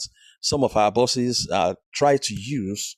Some of the bosses that we have now try to to use, you know, against their own people. It's not really that I'm fine. They sometimes they want to do that intentionally. I mean, we've seen we've we've discovered all the different reasons that that, that could have, that could I mean have led to that. Probably you're not um ego issue, you know, you are not you don't understand your boss very well, you know, some of those things might have led to that. But no matter what have led to that, if we see some of these things playing out, I think that the HR have a lot of work to do to ensure that, you know, that does not place the employee at a disadvantage over time. That's just where I'm trying to, what I just want to ship in. Thank you. Yeah, thank you very much, Sean. Perspective shared. I, I, had also mentioned that um, in a situation where is able to influence and change the leader, uh, that can be done. In uh, can be done.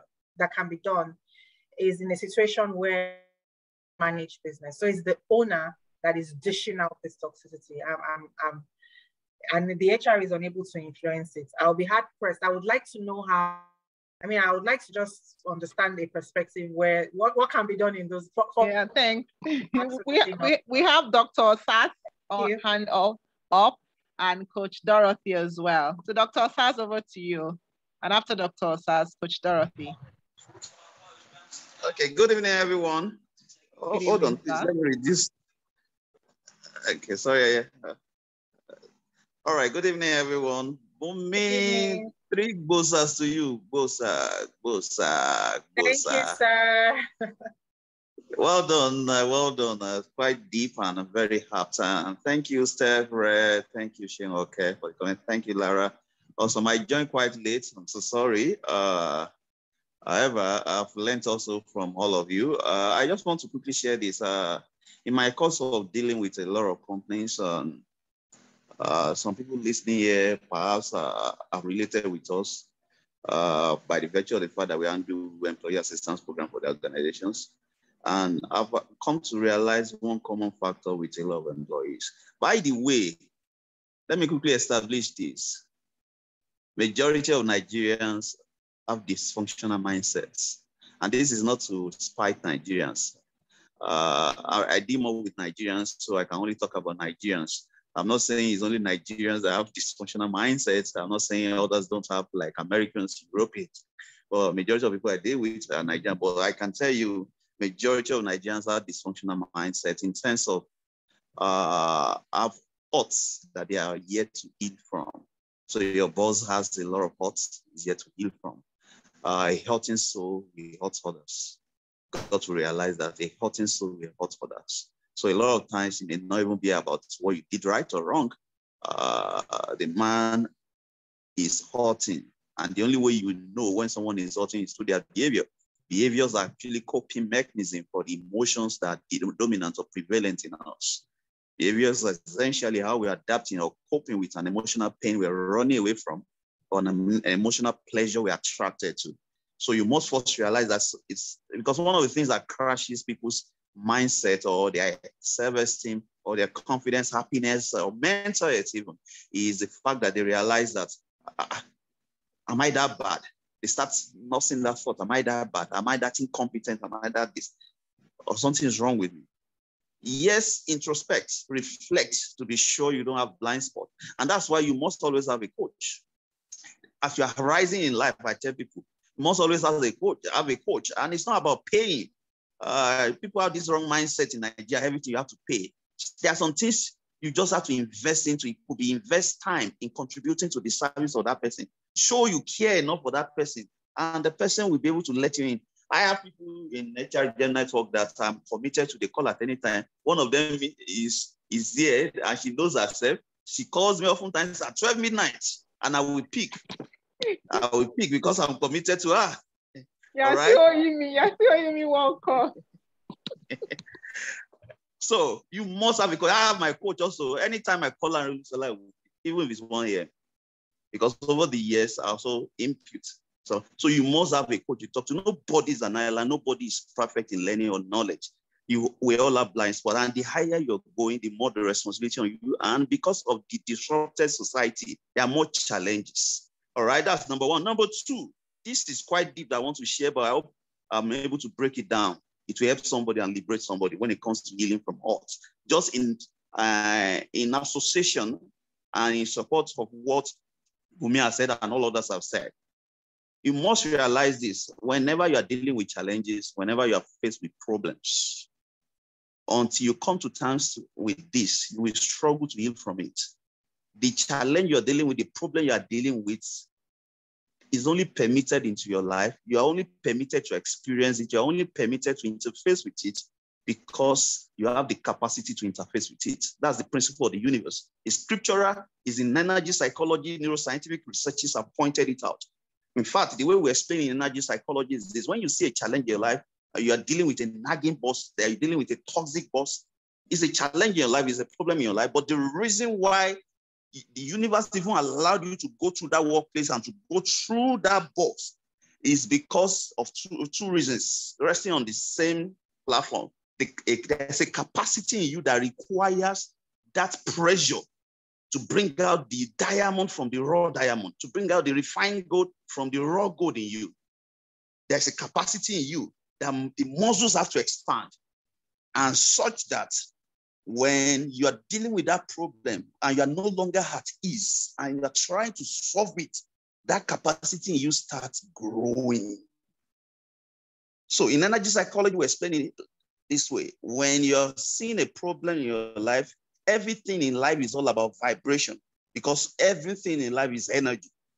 Everything in life is about vibration. There's a vibrational frequency of the problem you are dealing with whether it's a nagging boss, whether it's a, a bully that you're dealing with in the workplace. All right. There's a vibrational frequency of it. And for you to come through that department or under that boss or be eh, faced with that situation, there is a frequency at which a capacity is vibrating that forms a resonance with the frequency of that problem. And that's why you were able to go through it. And it's scriptural. If you permit me to quote scripture also, It says, There's no trial or temptation that's ever befallen man that is such that is beyond him.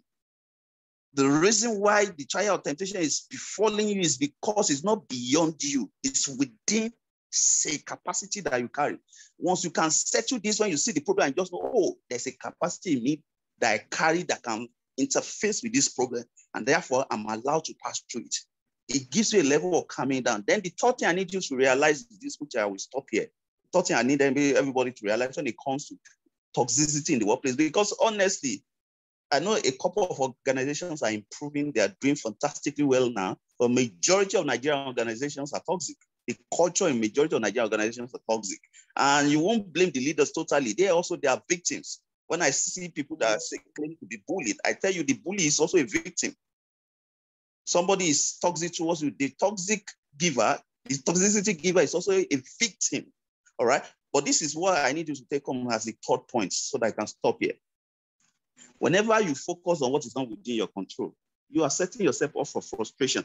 It's like you are giving yourself double assault, double slap. The situation is slapping you and you are slapping yourself again. Whenever you focus on something that is not within your control, no man on earth can change another person. No man on earth can change another person. If the change does not come from within that boss, or within that person, you're just wasting your time. The more you focus on it, what can you do? Focus on your response. And God's so good. The only thing that triggers stress chemicals into our system is our response, not the situation we are dealing with. Yes, you may try to solve the situation, especially if you understand the policies of your organization and the man is violating the policy, like Bunmi has right, aptly describe all this. Yes, you can speak to senior ones. Yes, you can take some decisions. All right.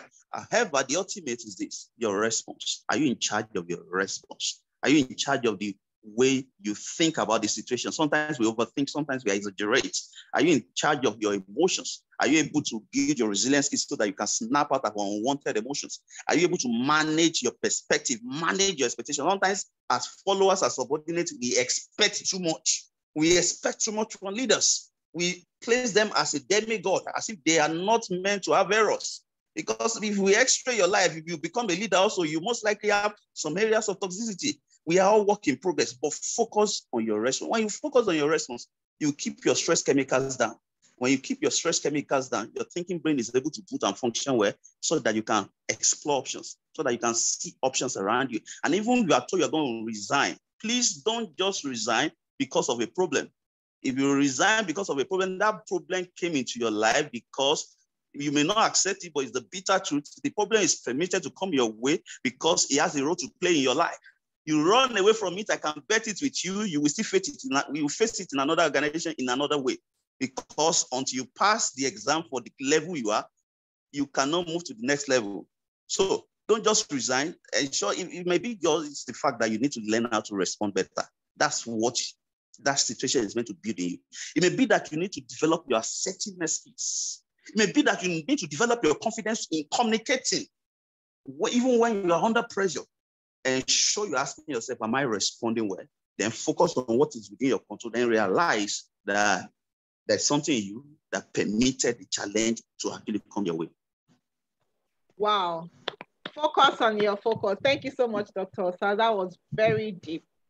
So we'll take Dorothy. Coach Dorothy, can we have your comment in two minutes, please? Thank you, Coach Lara, for this topic. It's a topic that we hardly ever talk about. And unfortunately, us HR people are the ones that face hurt the most. Uh, we're the most hated people in the organization. Um, I also want to talk, uh, say thank you to Bunmi. Thank you so much for the way you've dealt with this topic. And of course, the other people who have contributed. Coach Osas has said, um, on my list of what to say, he said about three, four. So I just want to mention quickly one, uh, um, uh, two things, two things. So I have worked in an organization where I've been a victim of toxicity and it's so easy. You know, you know the way you put cream on your skin and your skin absorbs the cream, you know, or the lotion. That's how it is when we're in a toxic environment. If we're not careful, it, um, if we're not careful, we'll find ourselves absorbing that toxicity. I'm going to quote a scripture, uh, just like uh, Dr. Osas did. Bible says, guard your heart with all diligence, for out of it flows the issues of life. What that means is that be careful of what you take in, be careful of what you are accepting, be careful of what you are internalizing, because if he, I mean, it can hurt you so much that it begins to change uh, the DNA of your character. You become, you know, you become like that toxic environment. The Yorubas say that when a leaf stays so long on soap, what happens? It becomes soap. So we need to be very careful that we're not taking in that kind of environment. I would say make a plan, make a plan. Um, make a plan make an exit plan. If you if you believe that is if of course you are not also part of the people contributing to that toxicity because it's easy to point to other people but sometimes it's difficult for us to see that we are also contributors to that process. So here is what i did. Part of one of the things i did was and and um, there's uh, one of my i mean mentees on this call and this is what i tell her all the time take yourself away from the situation. Don't, if, if someone is coming at you, if people are coming at you, if the environment is coming at you, learn to take yourself away from that environment. And what I do is I confess my affirmations to make sure that uh, I hurt easily. I'm, I mean, I'm, I, I, I'm fragile, but, and I know that a lot of us are because we're just human beings. So it's important that you go after you experience that toxic behavior or toxic environment, take yourself away. If it is when you are going home, please, you know, um, speak some positive affirmations into your life so that you can restore your soul. You can restore your self-confidence. You can, you know, um, ensure that it's not it's not being injected into your own blood. So, um, but I, I would I would like to say that we need to be um, we need to be we need to ensure that we are not also contributing to that uh, um, toxicity. Make sure that even if everybody is being disrespectful to other people, you make up your mind that you will be the exception in the organization. Thank you. Wow, thank you so much. Thank you so much, Dr. Dorothy. That was absolutely spot on. We need to close the meeting now. However, um, I, I just got a private chat from someone. I, I would like, to, I'll read out her, her question, but I believe that she might have to reach out to someone after, after this um, session. I'm not sure we'll have enough time. Um, Ma, I'm a victim of sexual attempt by the MD and I was demoted at my place of work. I was disappointed at my head of department and HR because I, I explained and showed evidence, yet no management team was able to stand up and defend my cause. Now my productivity level has dropped and I don't find purpose going to work anymore. Yes, I am job hunting, but I'm mentally hot. Um, I'm going to give this person my number. Um, we'll, we'll take it up after, after this meeting. But I don't know if Dr. Osas has a very short or quick response to, to the question I just read. Hmm. So, so touching, yeah. to, so touching to hear that. And yeah. uh, if the person is listening now, I need you to know that you are not alone. There are a lot of cases like that. All right. Uh, I don't know the extent to which yours happened, but uh, two weeks ago, uh, somebody called our EAP line, and our EAP manager picked or she routed the call to me. Uh, the only thing remaining uh, to make it a rape case was just for the man to penetrate. And uh, I hope there's no child listening. Uh, God just saved the lady. And this is a boss, a direct boss to this lady. They had to, because you know they're working remotely, majorly, so they had to agree to meet somewhere. I don't know how it happened that they had to meet in a private place and she didn't also suspect, but it happens anyway. And I don't want to bore you guys with the details. Uh, and I'm trying to say this so that number one, you, the lady will realize that it's not there. Number two, it's not the problem is not yours. The problem is the uh, the, the the person that attended the MD himself.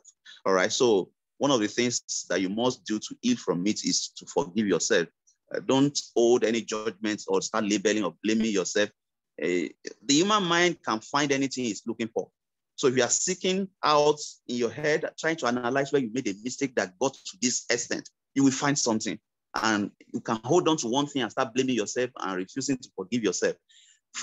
Not forgiving others is terrible, but not forgiving yourself is most terrible. It crashes your self-esteem, it hijacks and steals away your identity. So, not blaming yourself, the man is a victim of whatever circumstance, the MD himself is a victim of whatever circumstance is coming from, is dysfunctional. All right. Number three, you must realize that in life, it's not always a, an ideal world. It's just a realistic world. It's not often the times that the right people are the ones that move through. And you may not even have control over the situation. But the problem, God so good, what God did with this universe, that you and I, as devilish, as wicked as the world may be, what God did and preserved for us all is that what really hijacks and destroys our mindset and weakens us, or what really stresses us, is our response. And I cannot overemphasize this. One of the responses you need to pick up is to start learning how to talk to people that are reliable, are confident, are confidential, and are competent in helping you to unknot uh, different knots in your mind concerning this issue. Thank God that Lara has volunteered for you to call her. Please call her. All right. You need to start talking. Don't bottle it up. Emotions are energy emotion. That's where the word emotion came from. Energy cannot be destroyed. You just have to convert the energy you are stop, stocking in you. You are piling up. Or else they will hamper your physical health. They will hamper your mental energy, your mental health over time. So please stop. The last thing I will say to you is this. It's good that you're job hunting already. And it's good that you are, uh, you know that uh, you need to move out of that place because if I'm thinking if you were my sister, uh, I will be hungry also, and I will begin to look for somewhere for you that is better. But let me bust your bubble, and it's the bitter truth. Oftentimes, the truth may be heavy to say. Nothing on earth can guarantee you that somewhere else you go, you will not be exposed to sexual harassment. Now, I want to challenge you as a lady. Any lady eh, listening to me now, in today's world, you must learn how to defend yourself against sexual harassment. And when defending yourself against sexual harassment, you have to use the double-edged approach. Permit me again to quote from the scripture. Please pardon me. It says, Be peaceful as a dove, but be as cunning as a serpent. Be peaceful as a dove, but be as cunning as a serpent. Live with peace with all men, but you must be smart and cunning as a serpent time will not permit me to describe what the meaning of being corny as a serpent is. Sometimes, sometimes, in order to save your brand, in order to save your brand and in order to even save your job or save yourself, you got to be as cunning as a serpent. Now, in the case of that MD, I'm sure you are not the first victim. And I'm sure you will still do it to other people there. You got to make up your mind that you'll be peaceful with everybody, but at the same time, you got to want to have evidence, if at all, if at all you want to exonerate yourself. But if your goal is not to exonerate yourself, just leave that part. Exit from that organization. All right. However, if you want to exonerate yourself, you got to have evidence.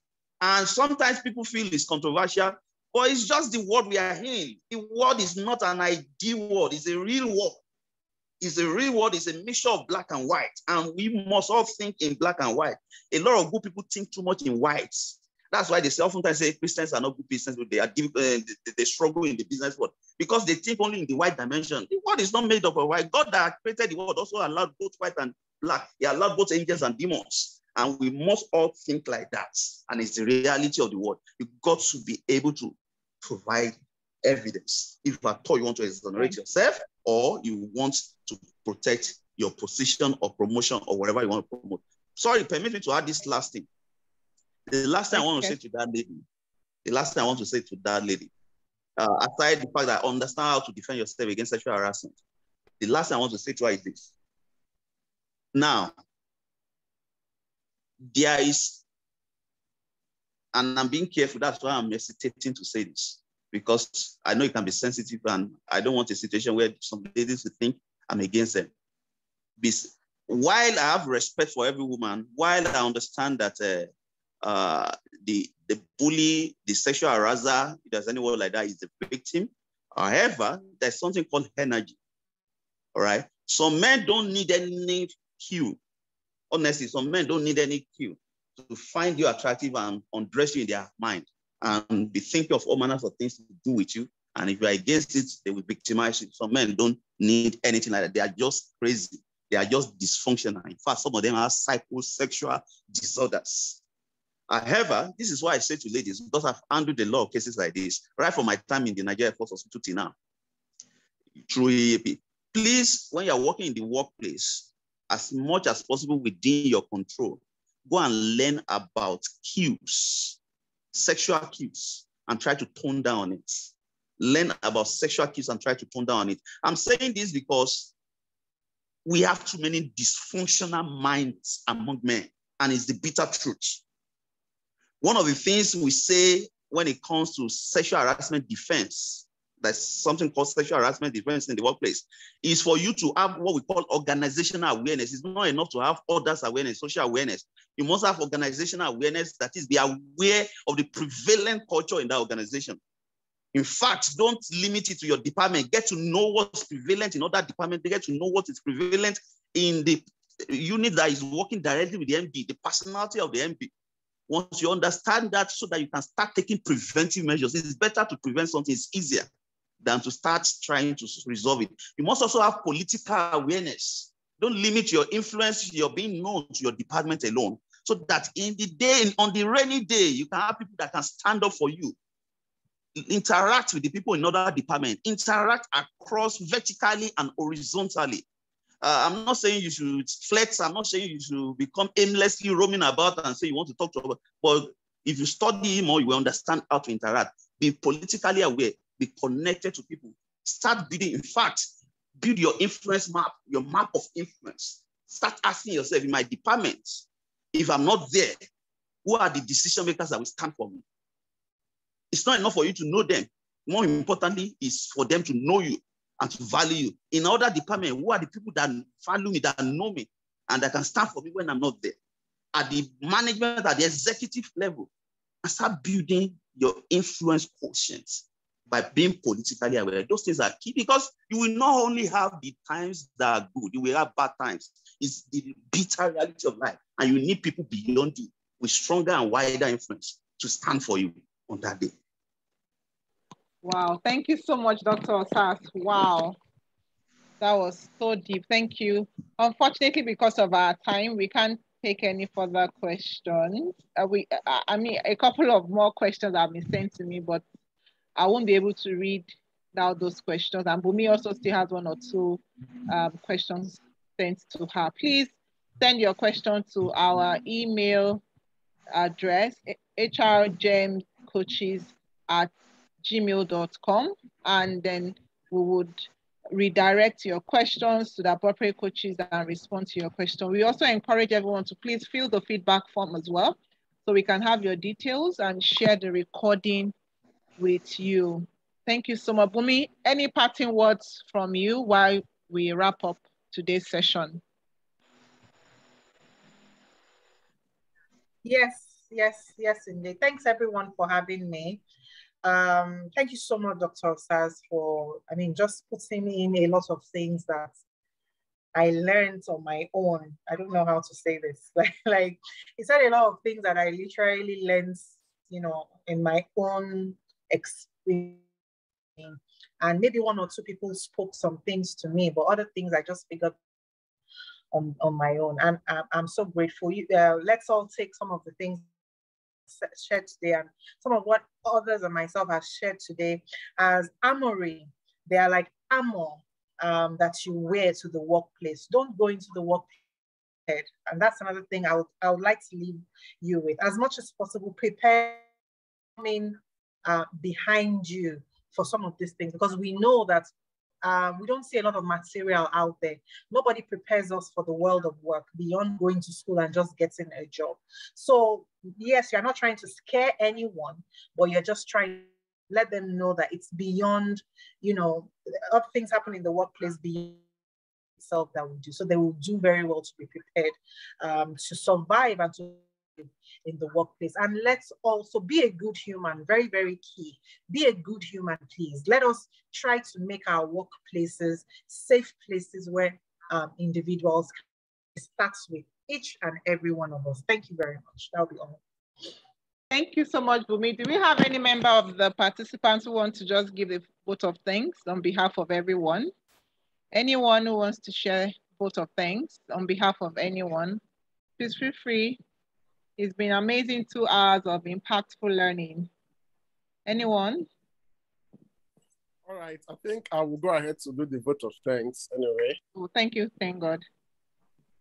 Oh, Wilson is saying yes. Okay. So um please to everybody, um, to Coach Bunmi, to Coach Lara, to Dr. Saz, and every contributor, thank you for sharing from your wealth of knowledge and experience. It's been like um, so much epiphany on my end, getting to learn, getting to learn, getting to understand the various places. And I've been, I've been, I've been privileged to be in a team where I have a wonderful team members. I'm like, okay, what if tomorrow and I and I move and I meet or have to experience some of these things? What am I going to do? What to be my responses? So thank you so much for tonight for making out time. Thank you, Bunmi, for making out time to teach us from your wealth of experience.